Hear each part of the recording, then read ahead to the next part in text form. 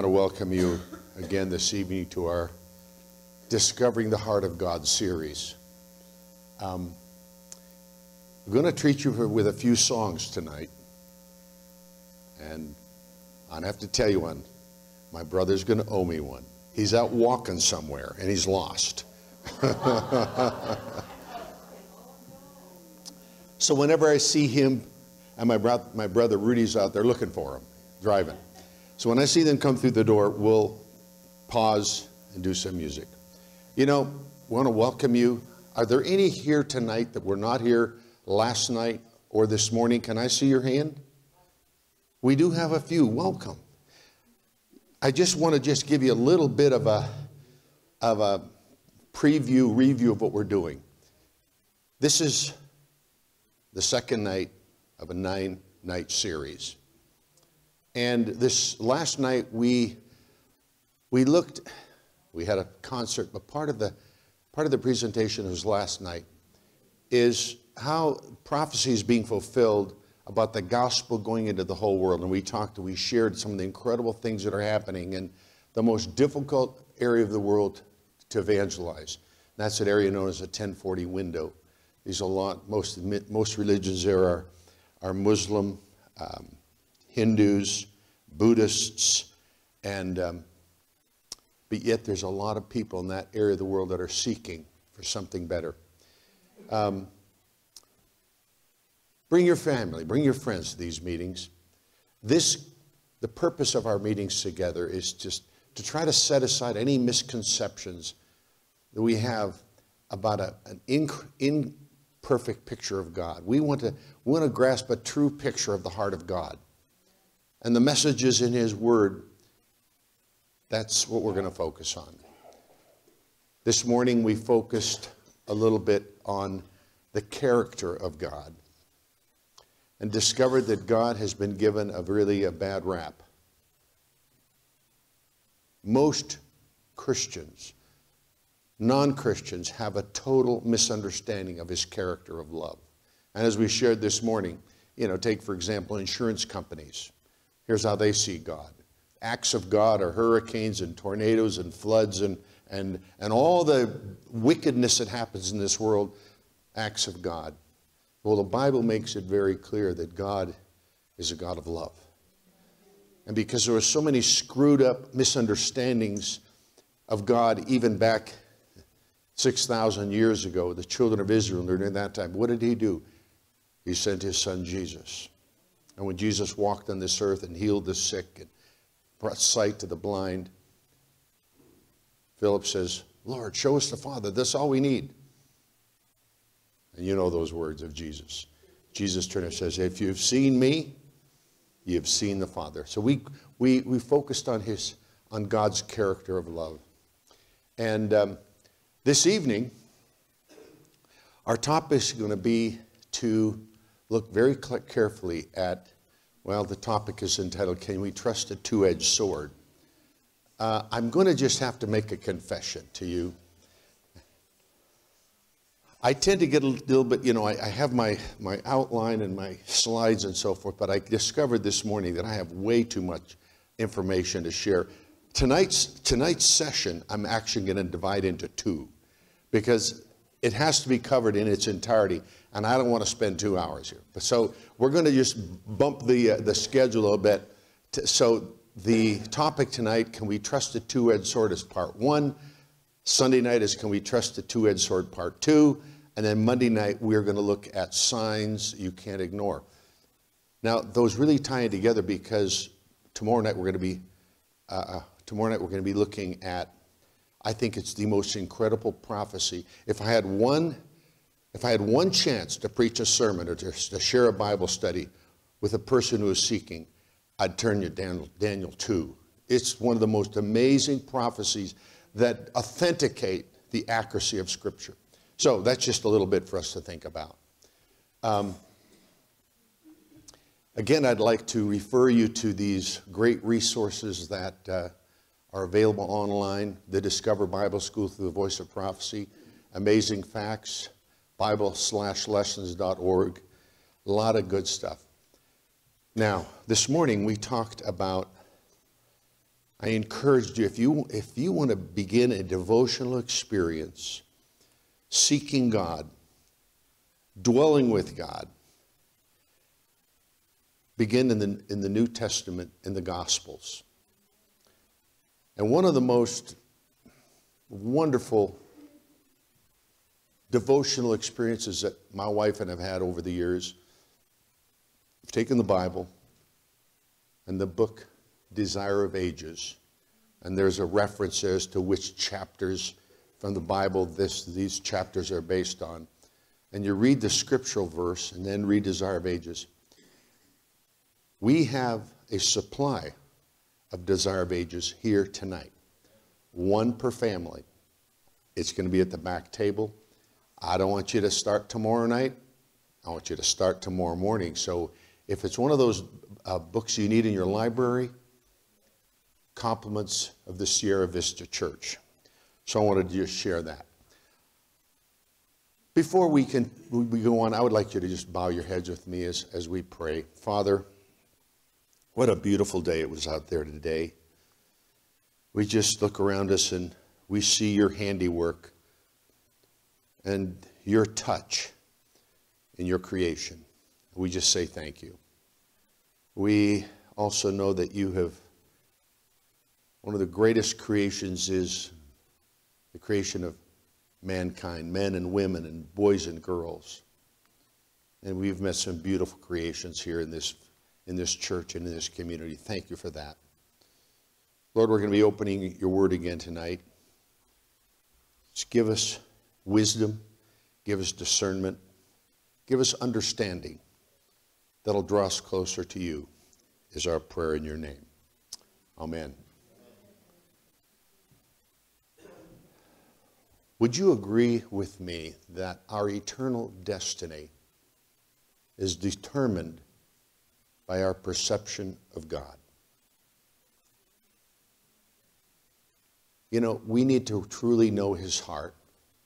And if we must know his heart, we must find the most credible source to understand his heart. Now, in, in my study, I've come up to the conclusion that there are four sources on which we can base our belief. Source number one self, self-proclaimed prophets and teachers. These are a dime a dozen out there. And occasionally, yeah, they guess something right. But I'm not sure that's where I want to stake my, my future. I'm not willing to accept what anyone says that will determine my eternal destiny unless they are 100% right 100% of the time. Is that unfair? I hope not.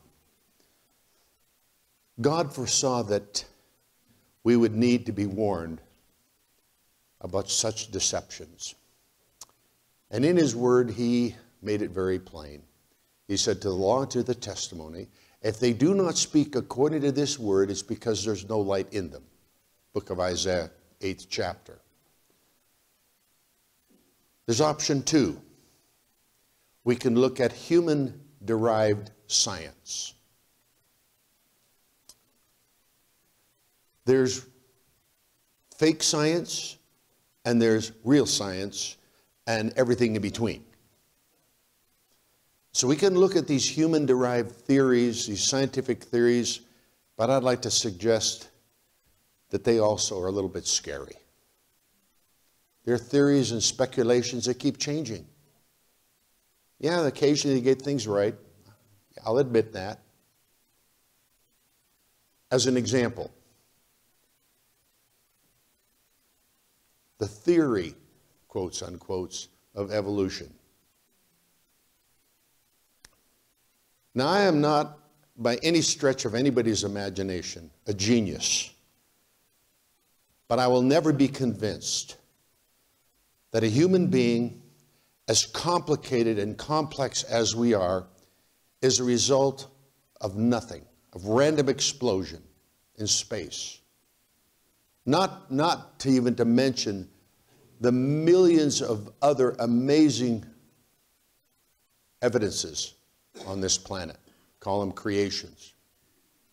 The things of nature. You cannot get life from non life. That's my simple little scientific theory. Now, correct me if I'm wrong, but chaos never results in a state of perfect order.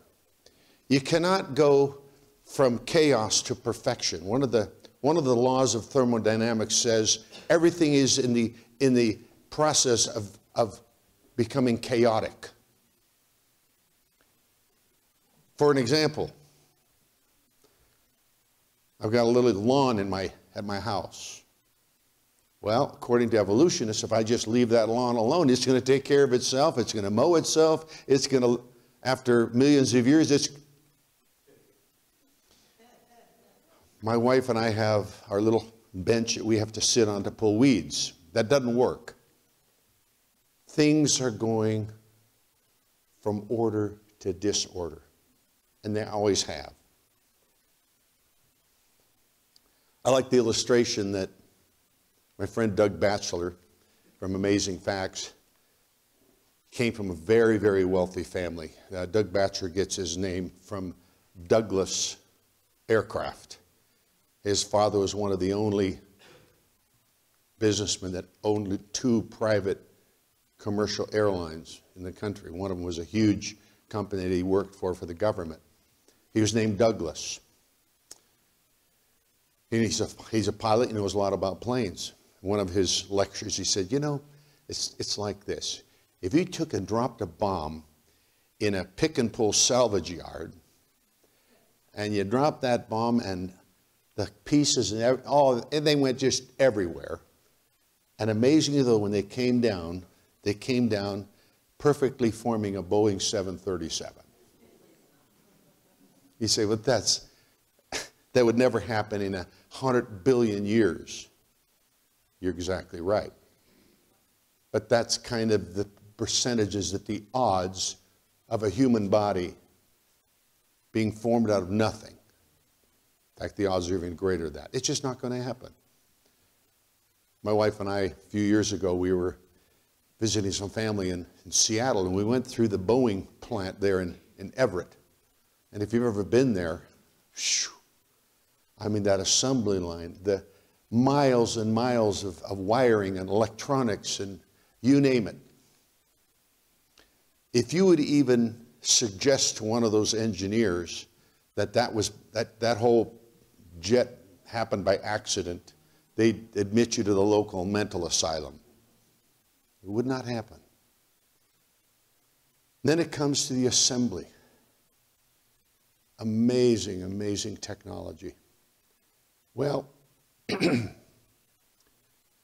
those forged metal structures, the fuselage, those wings, did they just happen by accident? I'm going to ask my friend in the back there, we need to reduce the font size one click, if you wouldn't mind. I really appreciate Bob and Doug back there and, and their sidekicks.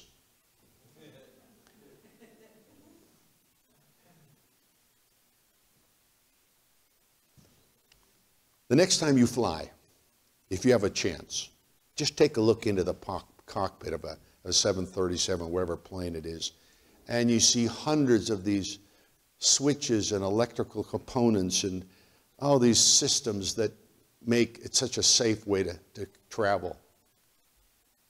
Just didn't happen.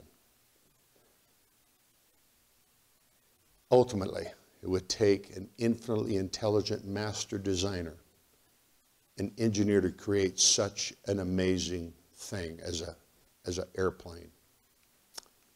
Well, you know where I'm going with this.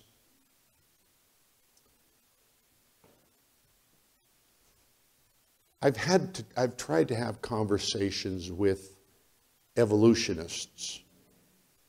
And we tend getting we tend up getting stuck at one place. And that is they have no room in their concept of how things happen. They have no room for an intelligent designer. So that's where we get stuck. And again, I'm a very simple minded person. And um, I admire people who have great intellect, can put things on paper, and, and this kind of stuff just dazzles my mind. I read a book a few years ago, and I pulled it off my book, bookshelf just this last week as I knew I was going to be here this, this, this week. It was written by an author who was an agnostic. He was a very successful attorney, and he decided to, he was going to investigate the life of Jesus and the Bible and Christianity. He, was investi- he would investigate it as he would in a courtroom. Show me the evidence. Look at the evidence. No, no emotional, no tug at your heart, heartstrings stuff. And in his book entitled Jesus on Trial, author David Limburg, Limbaugh, actually was Rush Limbaugh's brother, believe it or not, when writing about creation versus evolution, and, and I looked at that book again this afternoon, and whew, there's so much documentation and bibliography and, and illustrations, unbelievable. But, but in that book, he quotes an amazing mathematical formula.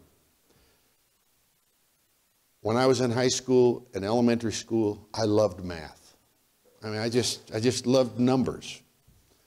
When my granddaughters were playing games that require somebody to keep score, you know, I'm adding it up and they're going, Papa, how did you do that? I don't know. I just have this, this thing in my brain that is a calculator.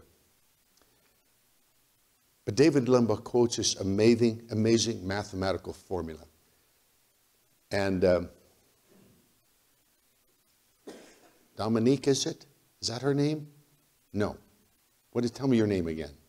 Gabriella. I'm sorry. Does that ever did that start happening to you folk once you start getting that AARP stuff in the mail? I mean, as soon as this, I mean, it, it was gone. Gabriella, I want you to listen to this one. Talked to her at lunch today. Now, most of the book that David Limbaugh wrote is way beyond my pay grade, and I have to really chew it long and hard to understand it. But I gleaned a few goodies that I want to share with you. Now, this formula that David Limbaugh shares is called applied mathematics. This mathematician is highly respected, highly decorated. His name was David Foster. And he did a research.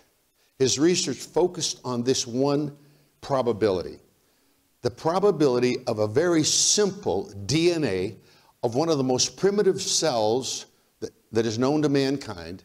What would be the possibilities of those components coming together in a random process? Meaning they just came together however, nothing organized the DNA of a T4 bacteria that has, prob- has the probability of developing into that little cell, that DNA, is 10 to the 78,000th power. Now, for you mathematicians, that's a 10 with 78,000 zeros after it. I mean, my mind can't even get around that. But then this is an interesting statistic that he shares. And he says that in a universe, and if you give the evolutionists the benefit of the doubt, they say the, you know, that our universe is 67 or whatever billion years old. Given the benefit of the doubt, our universe is only 10 to the 43rd power of zeros. Billions and quadrillions of times less, less time. So even if those components of that simple cell were to go, and now you got to remember what I talked about in one of the laws of thermodynamics, things goes from order to disorder. Any mutation known to mankind, 999 out of 1,000 are always negative. Maybe one of them is neutral. And you're trying to tell me now that all these, the, the DNA, I mean, the structure of our DNA, that they all chose right? But this statistic alone, this means that if, if that random process was taking place once every second, giving the evolutionists a benefit of the doubt, there's not nearly enough time. It could never happen. So when I was teaching, I started off my career as a fifth and sixth grade teacher. Gabby already knows that.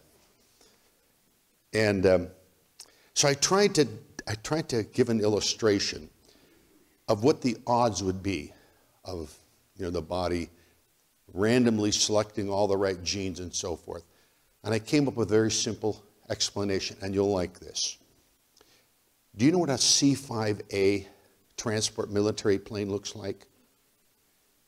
It's the biggest military plane that, the, that our military has. It's monstrous. I mean, they drive in Army tanks. Is it the biggest? Maybe it's a bigger one now.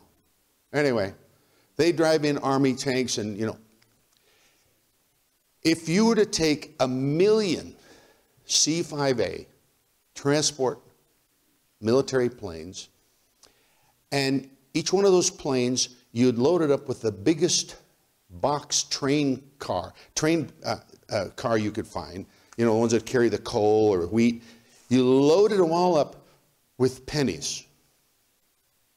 You got a million planes with a million pennies in them, and you take them up and you fly them up over Sierra Vista, and you tell them all at once to drop all those pennies at the same time, what would be the odds of all those pennies coming up heads? You say, that's a stupid question. It would never happen. So then, how can you accept the fact people who believe in evolution come up with theory that is even more ridiculous than that. Now, again, I'm a simple, make it plain kind of a guy. So, we're going to look at tonight not only the reality of God creating us. By the way, you know, a lot of the um, a lot of the scientists now, because they've come to realize that the complexity of the DNA alone is just absolutely impossible for it to just happen randomly. So, you know what they say now? Oh, mankind is a result of an alien invasion. Well, they're kind of right, aren't they? Came in the form of a baby. Anyway, I see that I get the thumbs up that the rest of the family is here. This is actually really a good time for us to kind of shift gears because I'm going to I'm going to shift gears into another area of why we can take God's word for what it is. So if Rudy and Lonnie and Jeannie are back there, we can invite you forward.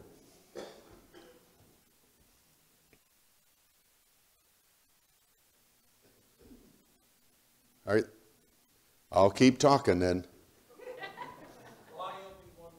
One more minute.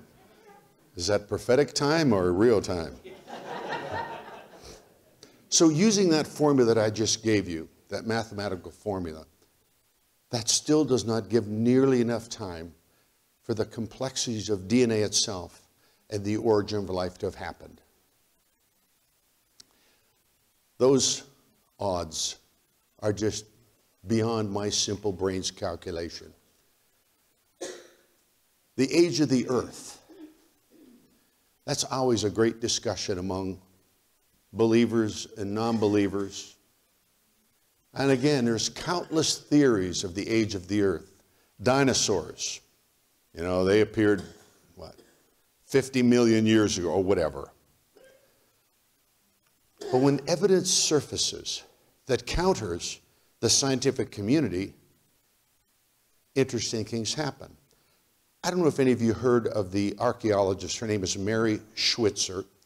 She's an archaeologist from North, North Carolina State University. She was on an archaeological dig, and they discovered dinosaur bones that had soft tissue in the marrow. How many of you heard about this? Some of you have.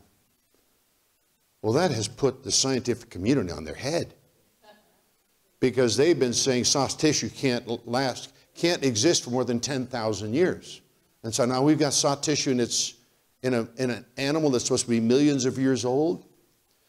Interestingly, Mary Schweitzer was, she published that in one of the scientific journals and was ceremoniously fired from her position I think she's got that position back. Or what about um, one of the professors at George Mason University?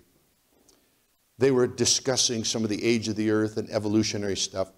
And she said this Now, for people who believe in a master designer, an intelligent designer, this is what they would say.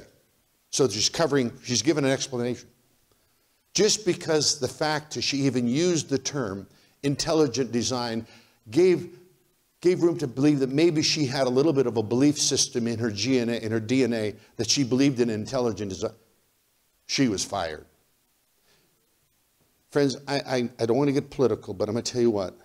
Right now, we here in America, we are this close to becoming a non Christian nation because the atheists, the agnostics, the, the age of the earth, billions of years age of the earth, they control all of our educational systems. They control our schools. And I'm going to just encourage you, it's going to take God, take God to plant a little seed in your mind to say, you know what, I'm going to be faithful and I'm going to, I'm going to study His Word and I'm not going to buy into this stuff because it's absolute garbage.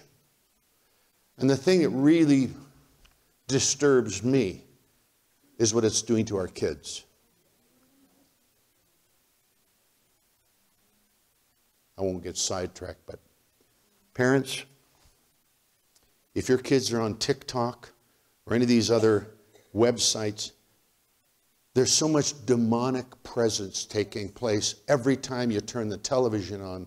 You go on your little phone, your, the enemy would appear at this stage of the game to be gaining ground. The third option of considering what truth is would be philosophies or traditions of men. To discover what the heart of God is. Well, I'll pass on that option as well. And I'm going to trust them as an, an, and their opinions either. We read this in Colossians, book that Paul wrote to the church there. He says, Beware lest anyone cheat you through philosophy and empty deceit, according to the traditions of men, according to the basic principles of the world, and not according to Christ. I think that philosophy probably belongs to NBC and CNN and ABC and any other, because you certainly get empty deceit through philosophies that have nothing to do with, with eternity. Amen? According to the traditions of men, according to the basic principles of the world, and not according to Christ. And there it is. That's the number one source that I'd like to consider, and that's a source from God. We can look to the things of God. This includes nature. This includes the Holy Spirit. This includes the Bible. And I've concluded that of all of these four options, this one alone is the one that I can trust to reveal the true picture of the heart of God. The Bible says, the heavens declare the glory of God, and the firmament shows his handiwork. A number of months ago, I was invited to preach up at a little church way up in Chinle, up there in Navajo Nation country. I got a late start, and I don't know the name of the little peak there, but it was about 6,000 foot elevation. It was about 11 o'clock at night.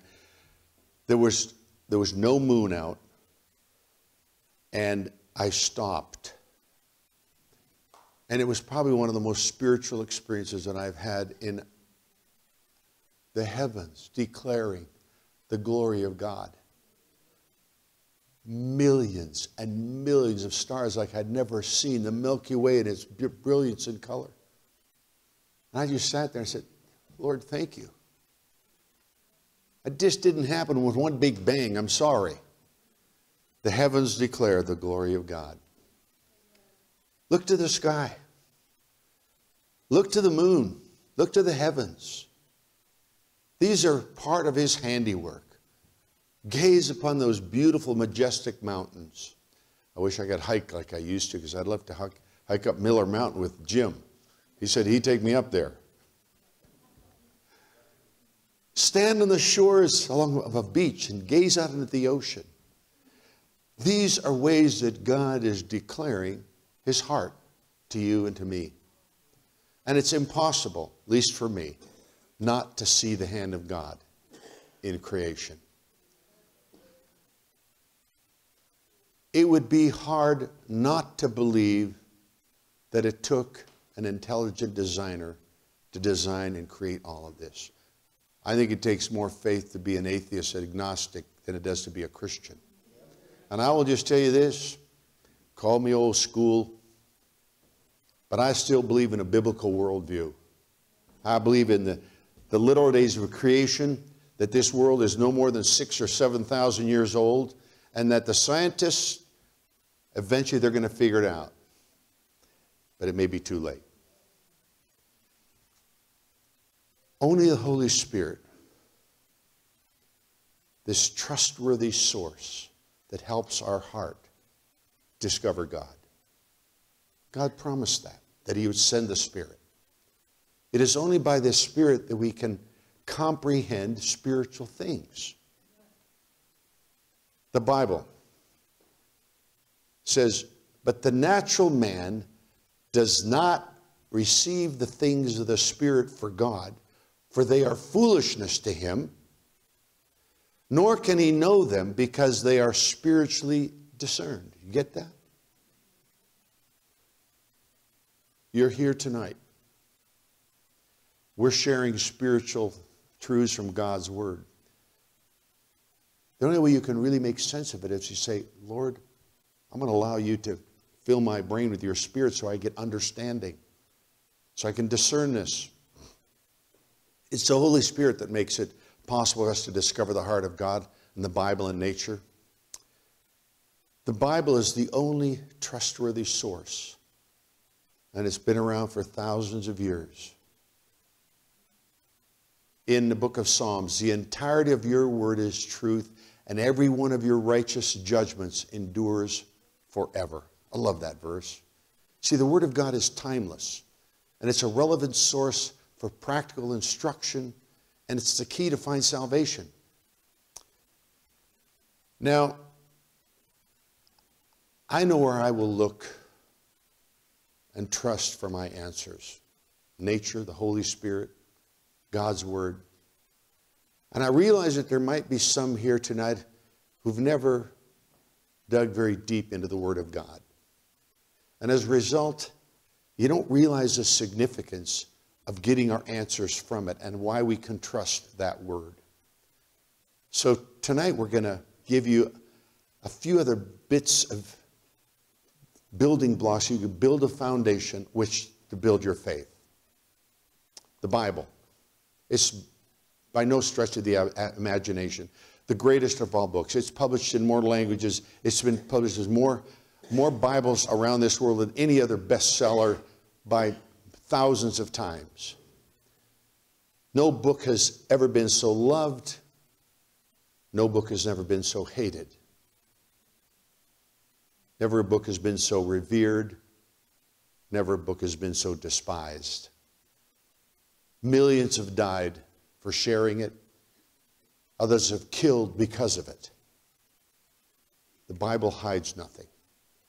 It gives full disclosure, and it's been an inspiration of the most heroic acts in, in, in Scripture, but it also records some of the most heinous crimes of humanity. Kings and paupers, young, old, they've all looked to its pages for guidelines, for instruction over the years. All Scripture, 2 Timothy, letter from Paul, all Scripture is given by inspiration of God, is profitable for doctrine, for reproof, for correction, for instruction in righteousness. now, this next verse describes the power of God's Word. This is we get our title for this evening's message. For the Word of God is living and powerful and sharper than any two edged sword, piercing even to the division of soul and spirit and of joints and marrow, and it is a discerner of the thoughts and intents of the heart. So, in our, in our search for truth and happiness, God, our Creator, our loving Father, has not left us to flounder. He's left us His Word. The Bible came about when the Holy Spirit gave inspiration to the minds of His servants. He gave dreams, visions, symbols, and figures. But these messages that He gave were, these prophets, writers, were not just robots that just holding a pen and, and the Lord guided the pen. No, they put their, the thoughts into their own words, into their own vernacular. They expressed these thoughts even though they had to put it in their own human language, which they did. And God inspired these messengers. They're of different rank, different education, different occupations. So you get that different flavor throughout the, throughout the Bible. Some were common fishermen. Others were kings, shepherds. One was a doctor. Some were farmers and preachers. Men from all walks of life, these 66 individual books that were brought together to form the Bible. Written over a period of 1,500 years. Written by more than 40 different men, most of whom have never met each other, but yet there's a thread, a golden thread that weaves it all together. This miraculous consistency between the books. Each writer, unique mental, physical, spiritual gifts. And their, their writings have a, wide, wide variety of style and diversity of subjects. Now, to the careless or prejudiced reader, there may appear to be some discrepancies or contradictions in the Bible. For precept must be upon precept upon precept, line upon line, line upon line, here a little and there a little. Using this message as we, method as we study the Bible, we will discern a harmony of the most amazing book if we study using this recommended formula, this method. And if we're praying earnestly, searching, truth will become very clear. That's why but the enemy of souls wants to bring confusion. And so, unfortunately, there are many churches here in North America. We have literally hundreds and hundreds of different denominations who basically their uniqueness is based on one or two verses of Scripture.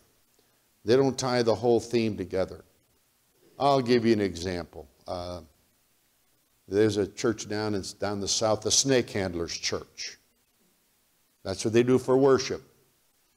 You know, because there's that scripture about, you know, serpent not biting. Worldwide, there are more than 40,000 Christian denominations. So the enemy being the author of confusion, any little way he can bring about confusion, that's going to happen. I just want to share with you now for a few minutes. To get the truth, we must take every scripture that we find on a certain subject and make sure they fit together. We got to see the pieces of the puzzle as they fit together to see this complete picture.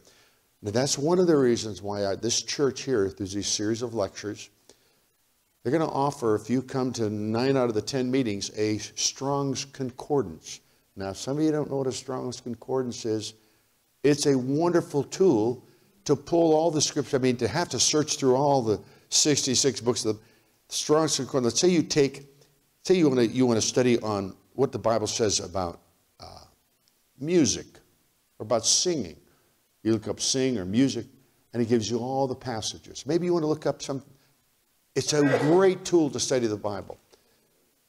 And as these pieces of the puzzle fit together, truth becomes very, very evident. You don't just take four or five pieces of the puzzle and, and craft a, a you want to call it a uh, tenet of faith. It has to be woven entirely through the scriptures. Now, we're going to dig now for some hidden treasure. Because up until the year 1947, I know that there's some folk in this room tonight that's in your lifetime. The earliest manuscripts that we had of the scriptures were copies. These were all written around 900 AD, 900 years after Christ. But then in 1947, a young shepherd boy was out tending his sheep and he discovered in an area of the Holy Land, area of, of Qumran, a cave that contained leather containers with literally hundreds and hundreds of scrolls. And these had been preserved for centuries in these clay pots. We call them the Dead Sea Scrolls. More exploring led to the discovery of many, many such similar caves with hundreds and hundreds of more skulls discovered. Bible critics of a century ago believed that they had good reason to doubt some of the historical records of the Old Testament. But now, many of these criticisms, because of the Dead Sea Scrolls, their criticisms have been silenced because the shovel of the archaeologist unearthed truth that had never been known before. Until the 19th century, very little was known about the ancient past. The Bible was the only source for much of the information. And there were many doubters and skeptics that looked at that, at, at from that vantage point. It was through ancient history. It was as though it was locked behind some of these secret, strange Egyptian picture writings. Nobody could read them, nobody could understand them. They thought they could interpret them. No one in the world knew how to decode them. The Bible critics of a century ago found many, many reasons to raise doubt about the Bible. But, friends, the good news is many of those criticisms have been silenced by the shovel of the archaeologist. Until the 19th century, little, was known about the ancient past except what the Bible had to say about it. Ancient history seemed to be locked into this misunderstanding. No one in Egypt the whole world could decipher these ancient hieroglyphics and these, and these picture writings. But then in 1798, Napoleon, he led a military expedition into Egypt. He had 38,000 soldiers with him. Took 100 artists and language experts, and they were trying to decipher so many of the ancient language of the past that nobody could read to help them better understand this culture, this intriguing land that they were in. Everywhere they saw these relics of the past, these unreadable inscriptions, these decorated monuments and temple walls. Napoleon and his scholars wondered what ancient messages those pictures writings contained. Now, little did they know the secrets of the hieroglyphics were about to be unsealed. For you see, one of Napoleon's soldiers unearthed one of the most incredible archaeological discoveries, became known, we call it the Rosetta Stone. The Rosetta Stone is this black stone, is about four feet, about four feet long and two and a half feet wide. The Rosetta Stone, you can actually go and see it. It's housed in the British Museum and it's treasured for the role it played in unlocking the mysteries of those hieroglyphics and revealing the secrets that have been hidden for centuries. Now, this rock slab, uncovered near this delta town of, of Rosetta, it bore ancient decrees in three different scripts hieroglyphic, Egyptian, and Greek. Hieroglyphic, which could be described as these picture writings, Egyptian, and Greek. Now, of course, because scholars could translate the Greek text and they could translate the Egyptian text. Now, the hieroglyphics were not understandable. It took them several years, but they finally able to discover the code to read hieroglyphics. And guess what? This Frenchman by the name of Jean Francois Champ- Champollion, he startled the world by, by deciphering that hieroglyphics in the Rosetta Stone. Thus, the vast treasures of Egypt, those museums with all of those artifacts that nobody knew what they said, they are open for scholars of the world to understand. But most important, the long forgotten history of Egypt now told stories and gave evidence that confirmed Scripture. It proved that what the Scriptures were saying was true.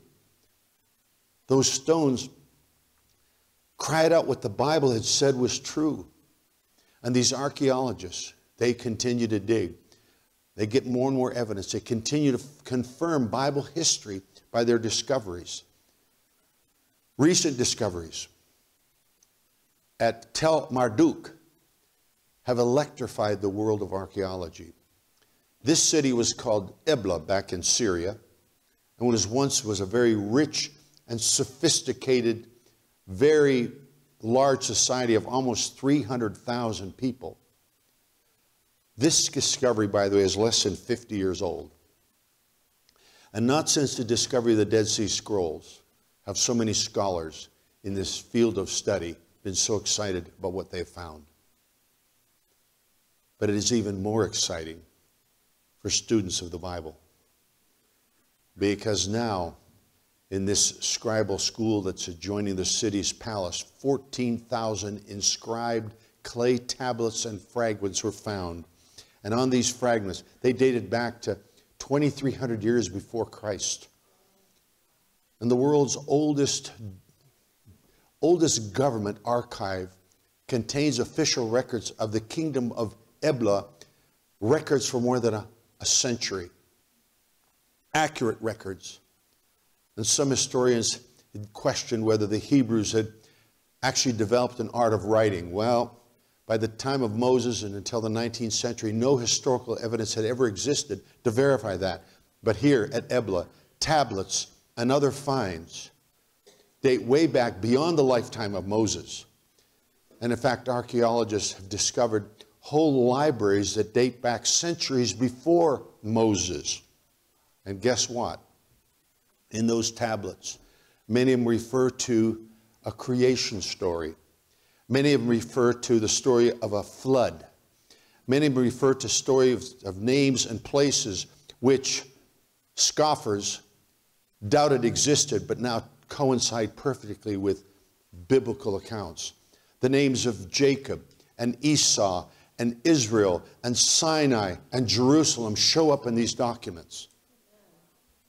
Well, the real surprise for many of them is the mention of the two sin cities of Sodom and Gomorrah.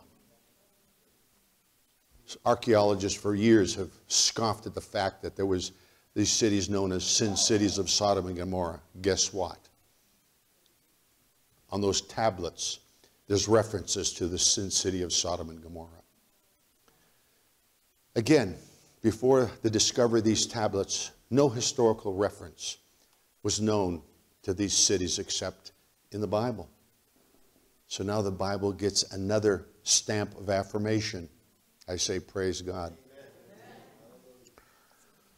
Some of these are just considered to be mythical places. The bottom line for scholars and archaeologists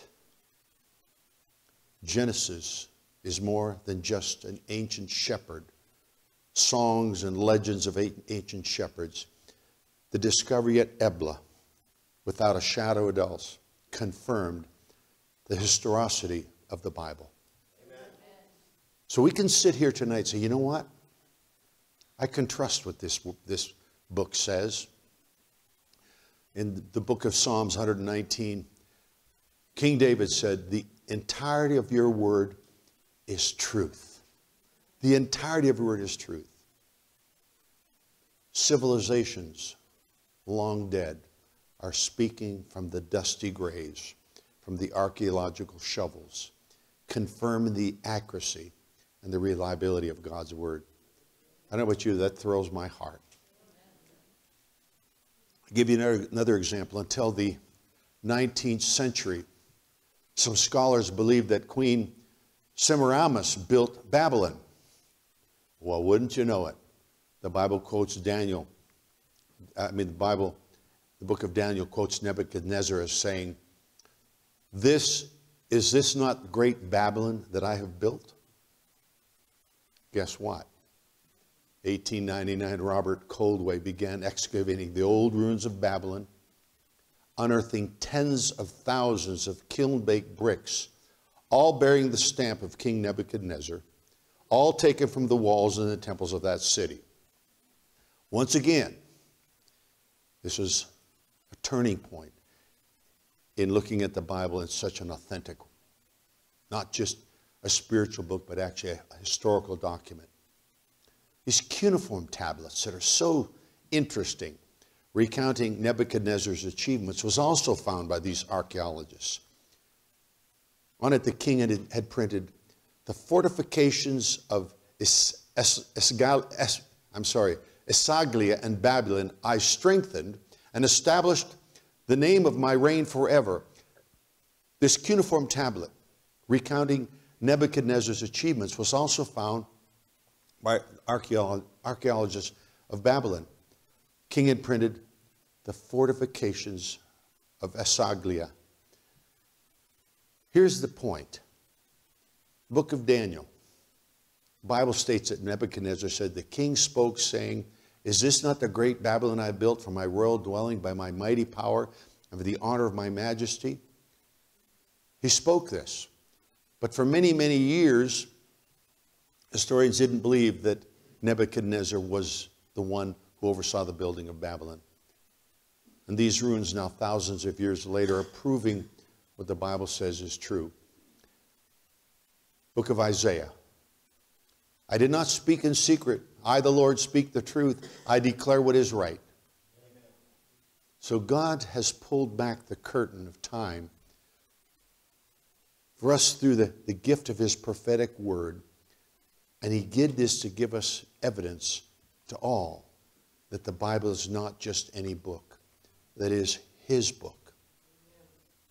If God can precisely foretell centuries in advance the future of kingdoms, he has the wisdom to predict the accuracy of what our future holds as well.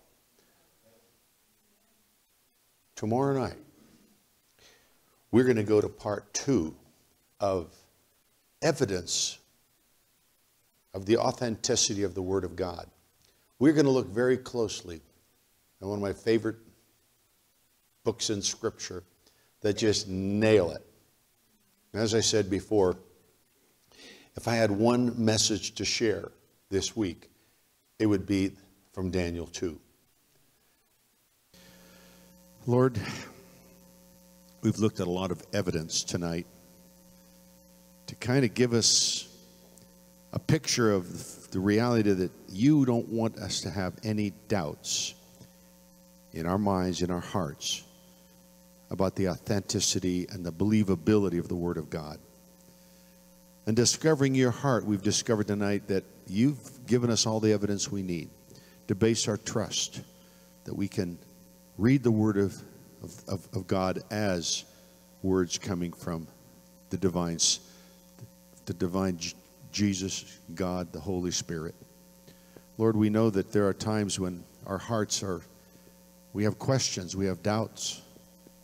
Lord, even your disciples went through that. Lord, I just pray that this new year we will make a commitment to get to know you better, to get to know you as our friend, to come to understand that you risked heaven and earth for our salvation. Lord, please, we don't ever want to take it for granted. So bless us now as we leave this beautiful little church. Thank you for the new friends we've made. Guide our footsteps and bring us back safely tomorrow.